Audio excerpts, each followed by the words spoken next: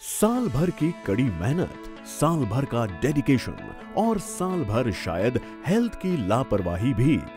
साल भर की इस लीकेज और डैम्पनेस की जंग में आपकी बहादुरी को हम सराहते हैं और इंडिपेंडेंस मंथ में आपके लिए लाए हैं कुछ सेफ्टी टिप्स जो आपको दे सकती हैं फ्रीडम कुछ खतरों से।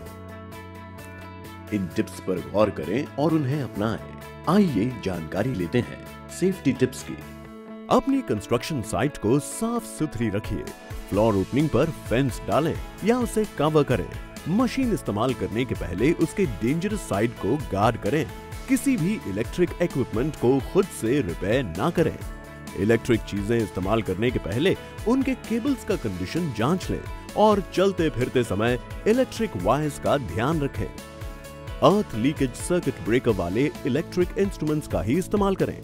डेंजर अलार्म इवैक्यूएशन रूट और सेफ़ प्लेसेस का खास ख्याल रखें।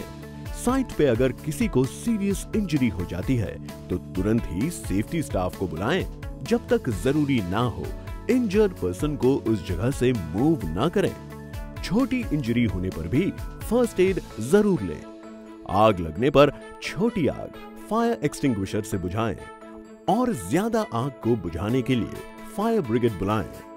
Gloves mask safety harness eye and ear protectors और सेफ्टी शूज़ जैसे पर्सनल सेफ्टी इक्विपमेंट्स का इस्तेमाल करें।